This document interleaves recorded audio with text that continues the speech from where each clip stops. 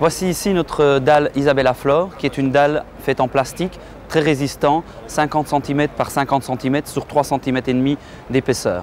La dalle Isabella Flore s'utilise soit pour faire un plancher sur l'entièreté de la surface de l'auvent, soit sur une partie de la surface de l'auvent, ou encore pour mettre à l'extérieur de l'auvent ou pour faire un chemin d'accès vers votre auvent. Je vais maintenant vous montrer comment cette dalle s'installe facilement pour faire un plancher et ce sans outils. Je vais vous montrer comment l'installation se fait très simplement et ce sans outils. Il suffit de clipser les dalles l'une à l'autre sur la longueur souhaitée